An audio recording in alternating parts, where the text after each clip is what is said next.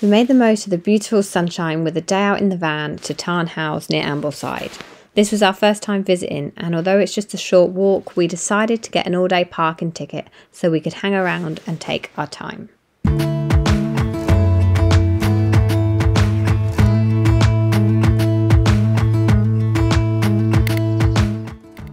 It's a great pram friendly walk and pretty easy for those little legs too. And we also found out that those who are less physically able can hire out an all terrain mobility scooter here. How amazing is that?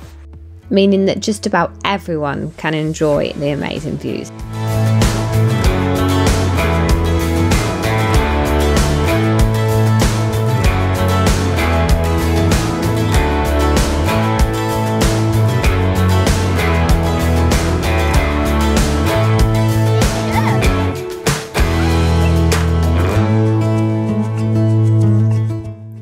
Being centrally located between Ambleside and Coniston, it is a very popular spot, so it's worth getting here early to make sure you can get parked.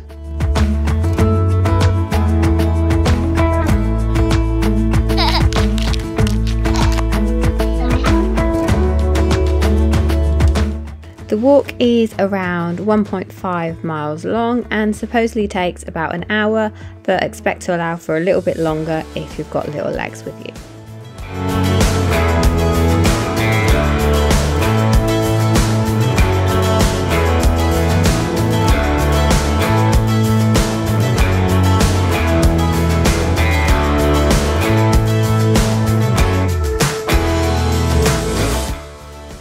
If you are looking for other easy Lake District walks for kids, click the video here to check out a super easy Wainwright walk.